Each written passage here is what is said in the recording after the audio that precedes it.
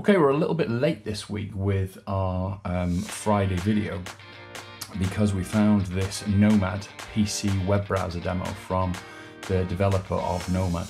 So I just thought it would be great to show you what it is. It's very limited, but it shows great promise for the future. And you might want to, presuming that the link is still there, which I'll put down in the uh, description below, you might want to go and check it out and just see what Nomad looks like in a web browser.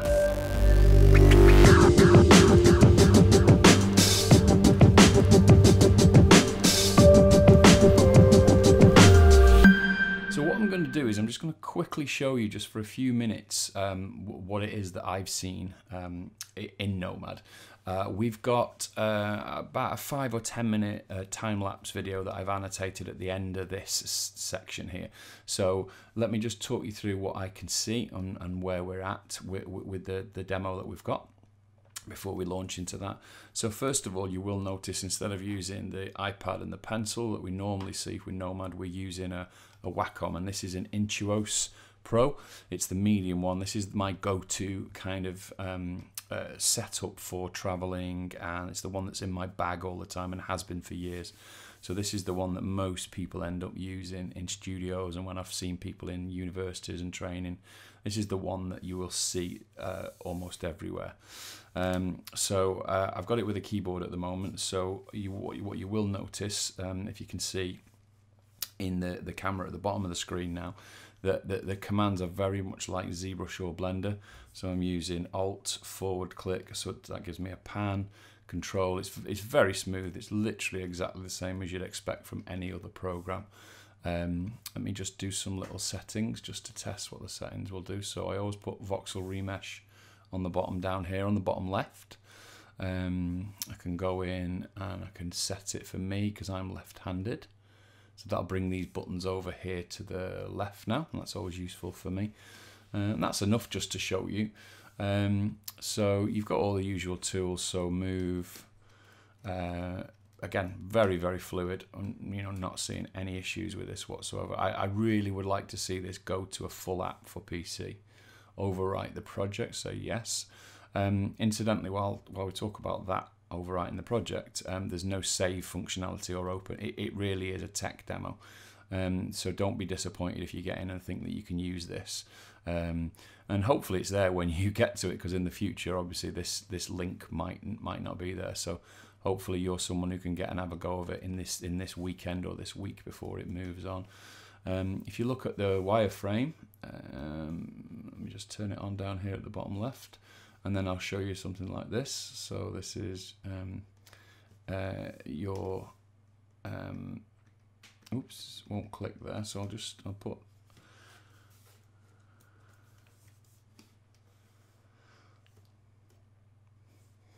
If you look down here in the bottom left, I've got touch on as well, by the way. Um, you've got your quick icon buttons there, so multi-resolution will be lost. That's because we're using uh, Remesher, and as you can see, that was that was instant for remesh. So the remeshing feature works absolutely fine. I haven't tested this up to any humongous level yet, so you know maybe maybe that's when it will start to to to, to fail a little bit. But to be fair, this looks pretty pr pretty solid in, in the version that, that, that he's got out at the moment. So um, the, you know the sculpting is the same as you would expect in, in, in any program like this. It's not this isn't doing anything like Sculptris Pro. It's not giving me any um, revo you know, it's not doing any uh, dynamic tessellation at the moment. It simply is just sculpting, so it's affecting the the surface normals. One thing that I sometimes don't get is I'm not getting shift to smooth at the moment. Um, so I'm having to put smooth on down here and smooth it. But um, you know that that could be that I've just not explored it enough yet. Um, so we'll, we'll, have a look at that as as the, as the hours roll by. So let me just look at the menu with you for a second. So if you look up here at the top left, um, you've got uh, some limitations. So it says it's a trial version, one layer per mesh, three undos, one um, pro project active only, um, which is quite normal. I would uh, expect for a for a tech demo uh, and no import or export and that's the big thing so this isn't going anywhere this model's not going out so just be aware don't spend any time and and then moan that you can't you know you can't do anything with it because this is just to prove the the, the, the point of the the, um, the, the technical side of things. So um, you've got your you've got the ability to do multiple um, uh, items in a scene, so that's good.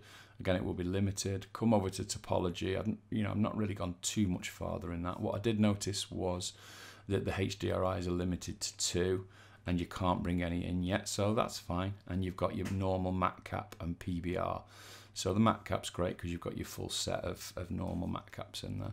So that's pretty solid, if I'm honest with you, for for um, just to allow you to get going. Um, don't forget that isn't an error. That's because I've got two in the scene. Um, so um, let's just have a quick look at uh, a 25 30 minute sculpt and I'll talk over that. Um, but by all means, go and have a go while the link is there. I'm sure this will develop into something in the future, but take a look at it while it's quite new. So I, I blocked out um, a, a, very quick character with this just from a sphere using the normal remeshing function. So I just pulled out the neck, uh, pulled out some ears, then remeshed it. Um, uh, all of this is the stuff that I've been teaching on this YouTube channel and in the new course that's coming out this week um, or, or next week now. Um, in this experimental build, you've got um, uh, pretty, pretty much the experience is exactly the same. So what, what you're seeing me doing there is just using remesh. Um, uh, I had some difficulty with the smooth, getting the smooth to work other than switching smooth on as a brush. So normally you would hold down shift and that just doesn't seem to work on, on, on the, the PC and the version that I've got. So I was, when you will see me here, switching back and forth um, with the with smooth, which is quite annoying. And I imagine that's just a, either a, blip at my end or a blip in the, the, the, the build. Because I do think later on it does start to work a little bit. I'm using crease, br- crease brush there, which is like Dam Standard in ZBrush, uh, or to some degree it's like it. It's not as good as Dam Standard yet. Um, uh, but everything else is, is, is working very, very, um, you know, it responds really well out of the box. In this session, I was remeshing and subdividing just to see what I can get. I didn't go above a few million, a couple of million is the maximum I tried. But everything um, that you would expect, like flatten and, and uh, the um, uh, clay brush, it all works perfectly. This is the triplanar primitive that's in there. Now that's the same as Shadowbox in, in ZBrush and I just used it to make some glasses. So I just quickly blocked out the shape of a, of a, um, a set of glasses on one side.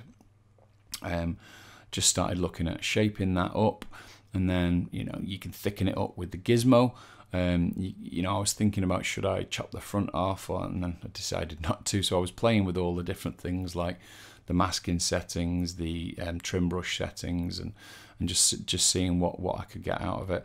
So I pop the glasses on, and and you've got all the, the you've got the layers exactly the same, um, or the scene the, the the scene that gives you the ability to have all your models on different layers.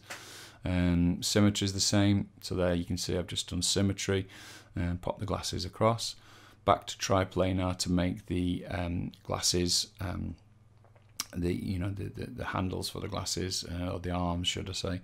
Um, again, just very basic shapes, and then just just using again didn't even use trim there, just literally just crushed it down with the gizmo tool.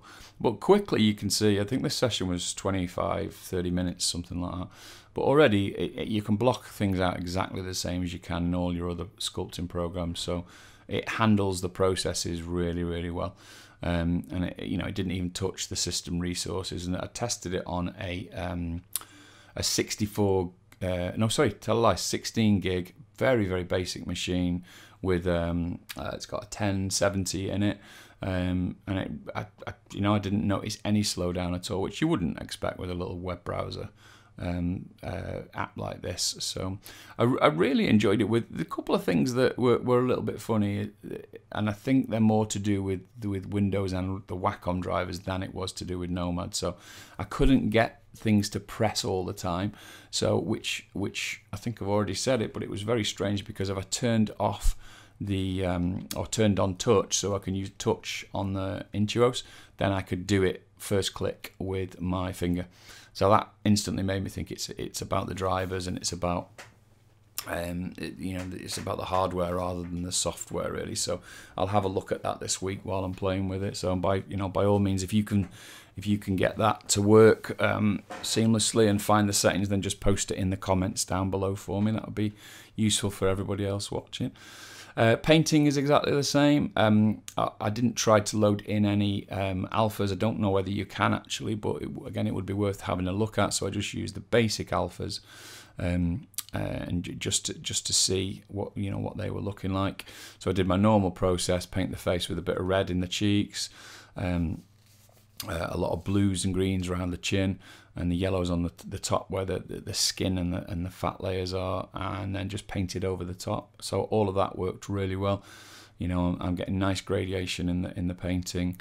Um, and it just came together as I would expect. Really, re- re- really happy with the the, the overall experience. Um, you can see there I've knocked off the symmetry for a minute, and the character came together in in, in no time. As as I, I didn't really feel like I was on a different device. So I'm very used to sculpting on a PC. So um, the, the iPad sculpting is the newer thing to me. So this this is a very very common and you know normal experience for, for, for, me and for a lot of you it will be if you're from a PC background or even a Mac background. It's the sculpting is is, is a very standard experience now. Um, so yeah, that was that was where I ended up with him in, in about 20 minutes. So um, I, I don't know if I would use this over ZBrush or Blender, but the fact that we can do it is interesting. And if you don't have ZBrush, um, uh, obviously, you can have Blender because it's free, but um, this is one to watch out because this could be going. Uh, you know, you never know where the developer's going to take this, so be well worth keeping an eye on it.